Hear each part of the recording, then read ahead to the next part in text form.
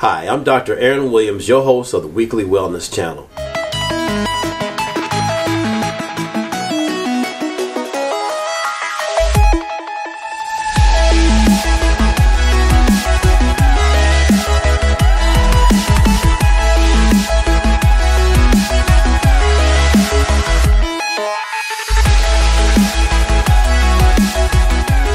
Today we're visiting the labs of Jeevan Biosciences. Jeevan Biosciences is a biotech company that does a lot of research within the realm of cancer. As you might know, over 250,000 women this year will be diagnosed with breast cancer. It's important to understand that not all breast cancers are the same. There are some that are more aggressive than others. One that is most aggressive is called triple negative breast cancer.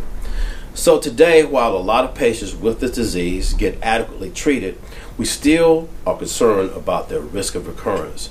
Therefore, a lot of more research is needed in order to improve our results. So today, we're interviewing Dr. Rodney Nash, founder, CEO of Jeevan Biosciences. Dr. Nash, can you enlighten us on what your company is doing to fight this potentially dreadful disease? Yes, as we know, triple negative breast cancer is a very awful disease. Uh, it's much more aggressive than the other types of breast cancer, and our goal at Jeevan Biosciences is to develop uh, a new model, a, a cellular model, if you will, uh, more of a human model uh, for looking at uh, drugs that work in various patients. We actually developed the cell models uh, the actual tissue is taken from the patient, from an actual biopsy uh, we're able to extract what we call the cancer initiating cells or cancer stem cells from the actual tumor and we can grow them in a dish and we can then uh, use different drugs to determine which drugs would work with that particular patient. Mm. And on that note, as we know that not all breast cancers are the same, but we also know that cancers behave differently in certain ethnic groups and are at a higher incidence in certain ethnic groups, and therefore certain treatments may or may not benefit one group over the other. Is that something that you're trying to solve as well? Absolutely. Uh, in the case of triple negative breast cancer, there's a higher incidence in African American women uh, at 33% versus in Caucasian American women, which is at about 10%. Uh, now, both groups are very important, uh, but uh, why is it higher in one versus the other? Those are questions that still remain. Uh, having uh, actual models that are derived from the actual patients will help to eliminate uh, the differences that you see with animal models versus human models.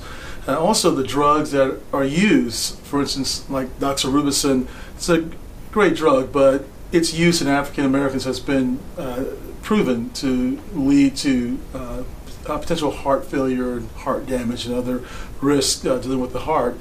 Uh, whereas with Caucasians, the, the same thing hasn't been seen.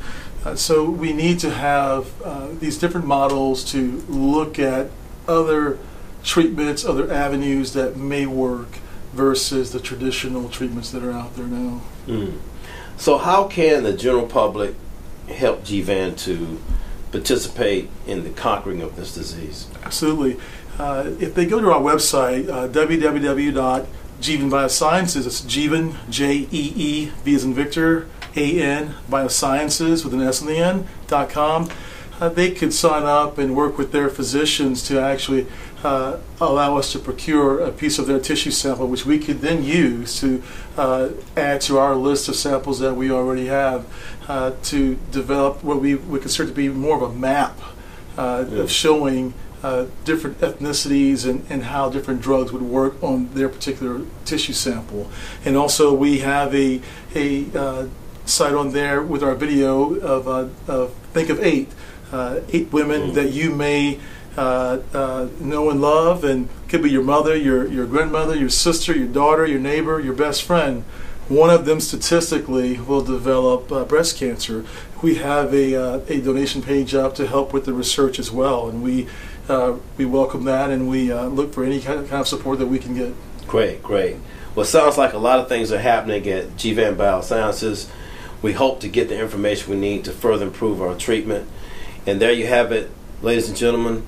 So until next week, be healthy, be happy, and be kind.